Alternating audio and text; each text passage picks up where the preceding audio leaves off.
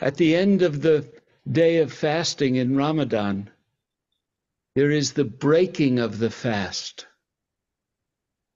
That's an iftar meal. But there's a deeper meaning. What's the fast? The fast is saying no to limitation. The fast is saying, no, I can't be separate from my sister, my brother. I won't let that happen. And then there's the awakening, the remembrance at the level of the soul. And for that, we break the fast. We break the fast by our connection with each other. The oneness, that's the food. So, yeah, we're going to do these three iftar dinners in Israel and in Palestine.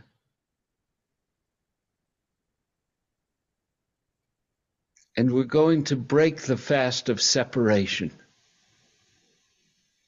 And it's really important.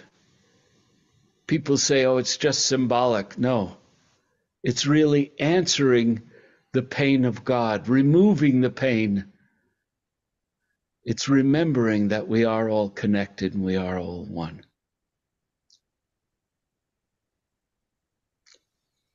So that's what we're doing. It's really expensive. We have 200 people at, at a dinner, sometimes more. So if you want to help, help. If you have a euro or a dollar you want to chip in, great. If you have 25,000 you want to chip in, also great. One is not greater than the other. Sometimes we have to do things from the earth plane, and it costs money.